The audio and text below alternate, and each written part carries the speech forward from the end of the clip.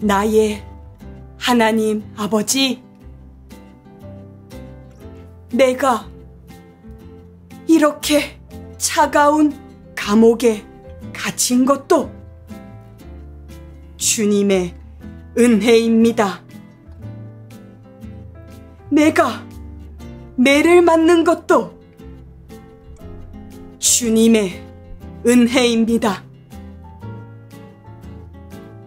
주님께서 나를 지켜주시고 도와주시고 주님이 나와 함께 하시기 때문에 나는 두렵지 않습니다. 저는 예수님을 따라 죽겠습니다.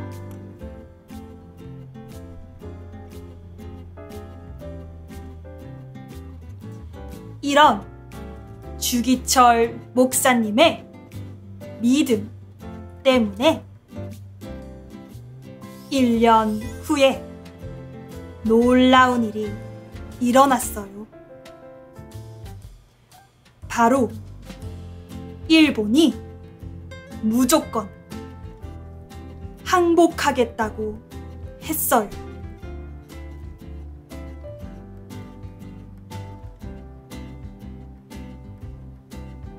그럼 이번 주 하나님의 말씀 다 함께 읽어본 후에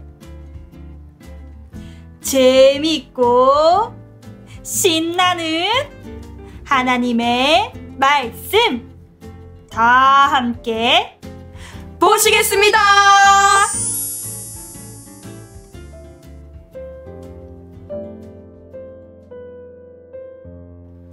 아무것도 염려하지 말고 다만 모든 일에 기도와 간구로 너희 구할 것을 감사함으로 하나님께 아뢰라. 빌립보서 4장 6절 말씀. 아멘.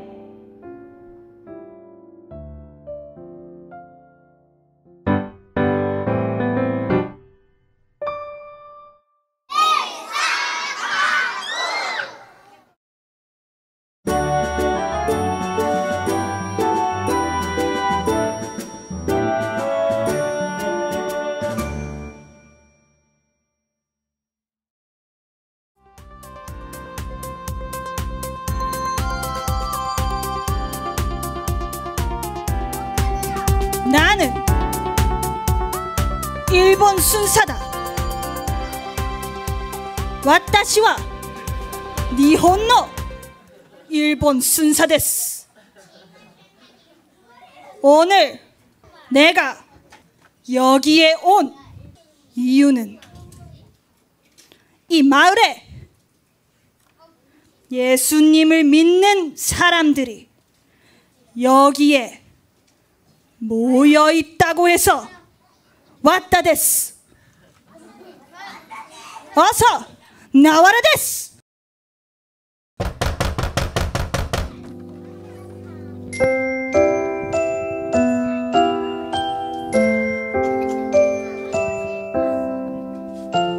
어서 여기 줄 서라.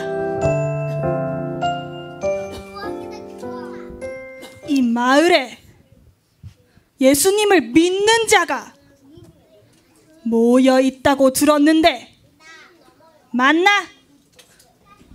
예?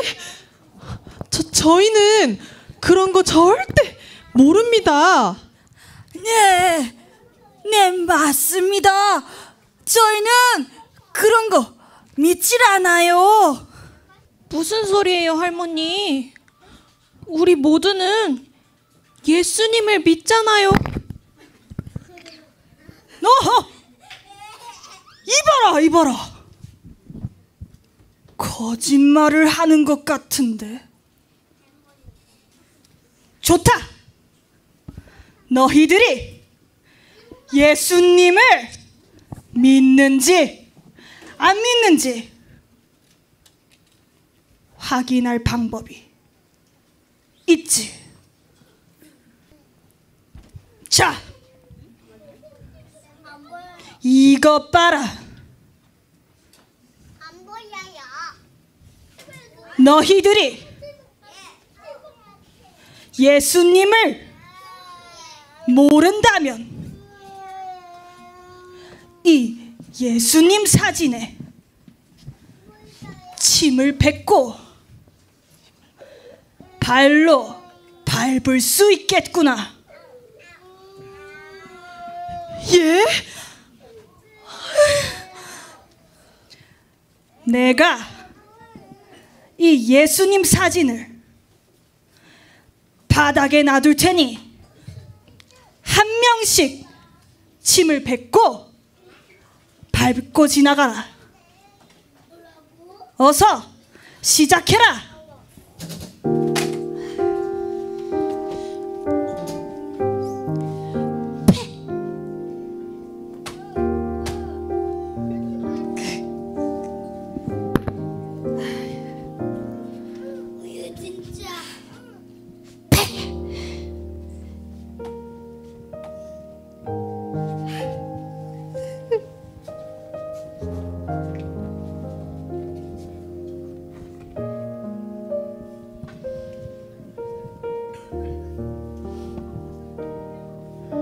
그러지 마세요.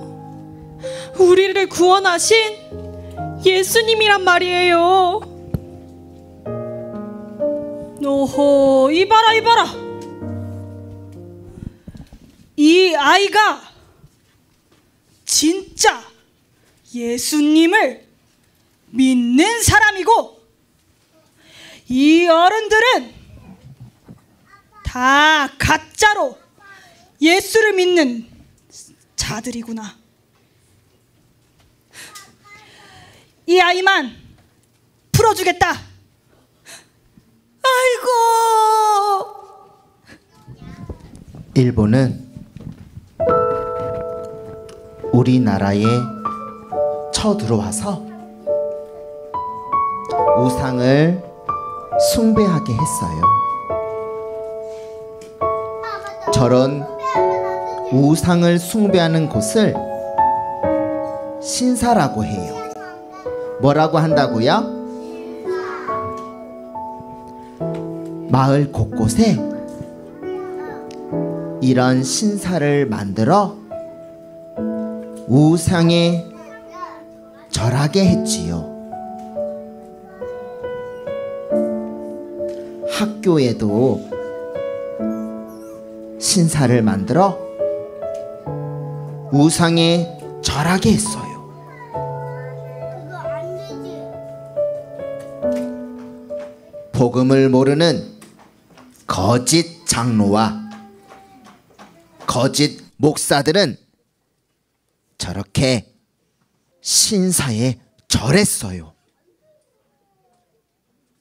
거짓 장로와 거짓 목사들은 신사에 절하는 것이 우상 숭배가 아니라고 했어요. 저들이 앞장서서 우상에 절을 했지요.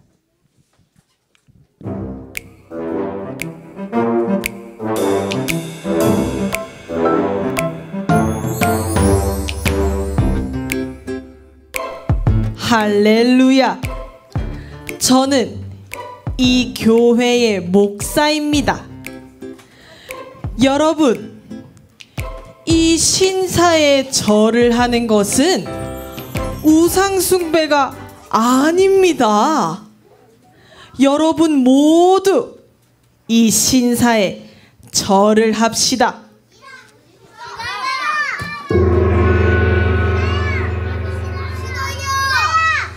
이것 보시오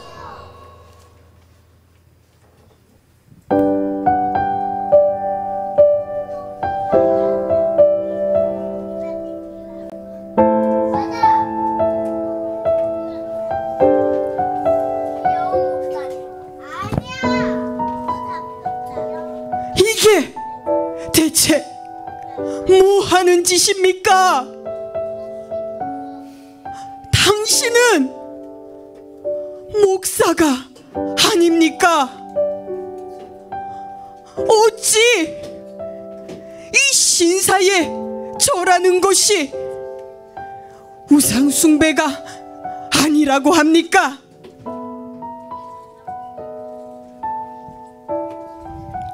이 성경에 기록 되었으되 하나님께서는 우상에 절하지 말라고 하셨소. 이 성경에는 우상을 아예 만들지도 말라고 하셨소.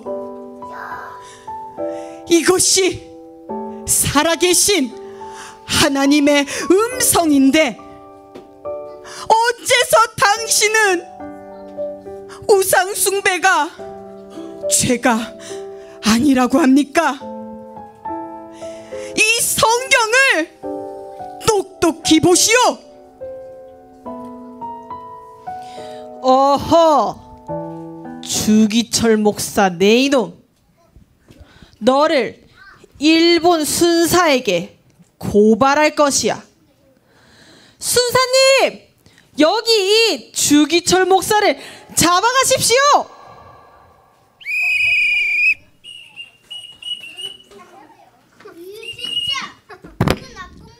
주기철 목사, 당신은 오늘부터 더 이상 목사가 아니다.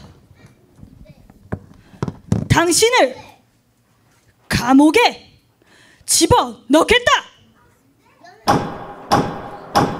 너도 너도 같이 나와.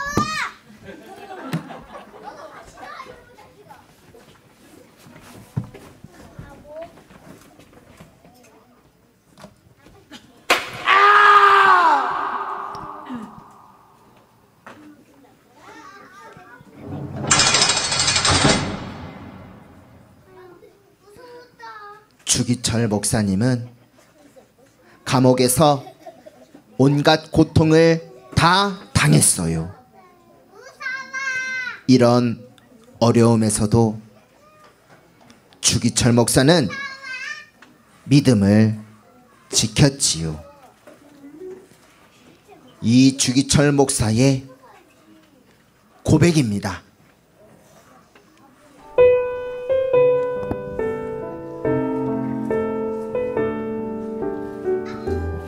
나의 하나님 아버지,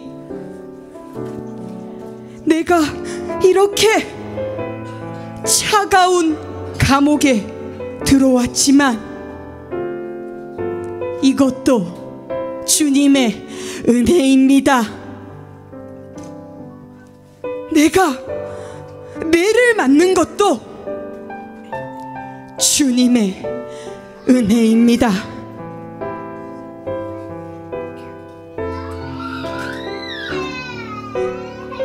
하나님,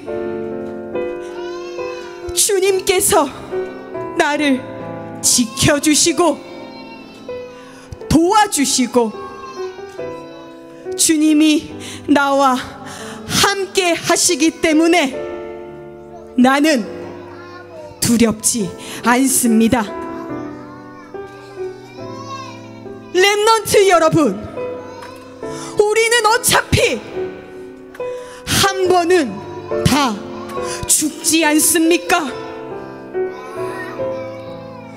예수님을 버리고 살겠습니까? 예수님을 따라 죽겠습니까? 저는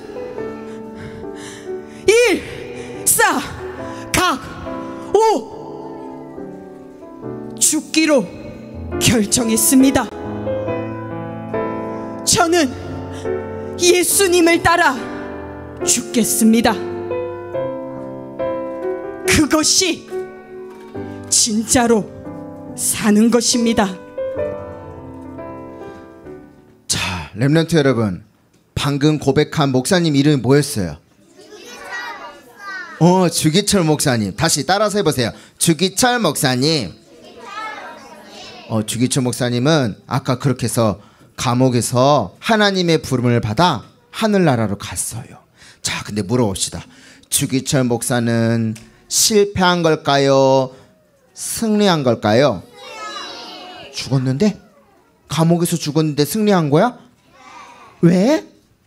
그거 나중에 부모님하고 주중에 다락방 하면서 포럼해 보세요. 자, 주기철 목사님이 아까 그렇게 해서 감옥에서 죽고 난 후에 1년 있다가 일어난 일이에요. 일본이 무조건 항복하기로 해서 전쟁이 끝나버렸어. 그래서 감옥에 있는 사람도 다 풀어주고 이렇게 해서 우리가 이 날을 지키고 있어 1년에 한 번씩. 오, 빛이 회복되었다. 자, 따라서 합니다. 빛이 회복되었다. 어, 그날을 보고 뭐라는지 알아? 어두운 가운데서 빛이 회복되었다라고 해서 광복절 지키는 거야. 8월 15일에. 오, 자. 아까 주기철 목사님이 했던 말 기억나요? 여러분, 어차피 사람은 한 번은 죽잖아요. 그런데 예수를 버리고 살겠습니까? 예수를 따라 죽겠습니까? 했죠. 그러면서 아까 주기철 목사님이 했던 네 글자 뭐였어?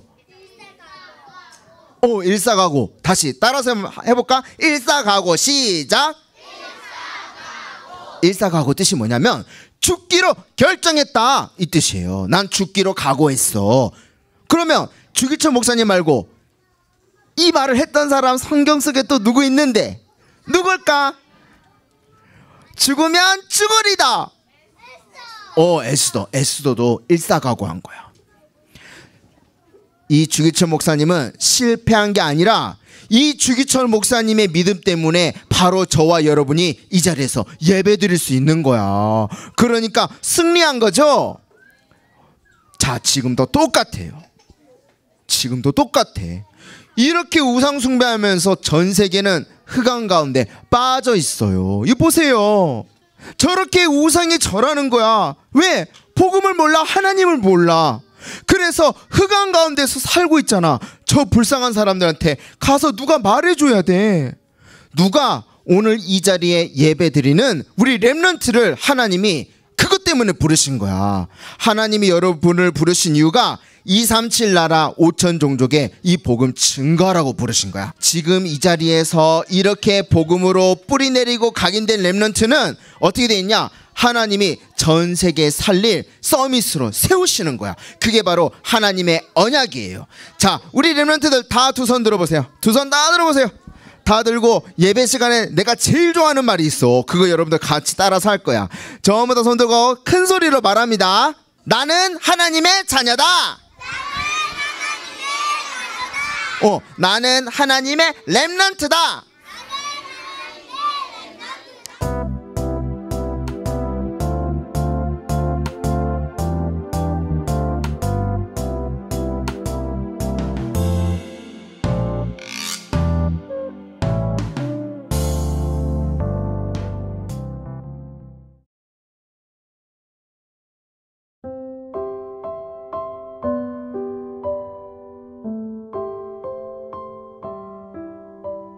한주 동안 하나님 자녀의 신분과 권세를 잘 누렸나요? 이번 주에 하나님과 함께함으로 가장 기억에 남은 일이나 생각을 글이나 그림 일기로 기록하고 표현해 보아요. 랩넌트 여러분, 이번 주 말씀 제목 무엇이었나요?